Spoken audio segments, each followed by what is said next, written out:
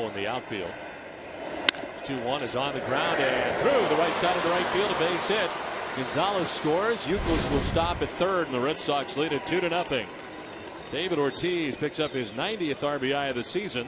And the Red Sox off to a good start in the first inning tonight. As I mentioned, no shift put on David Ortiz, and it pays off this time. Fastball inside.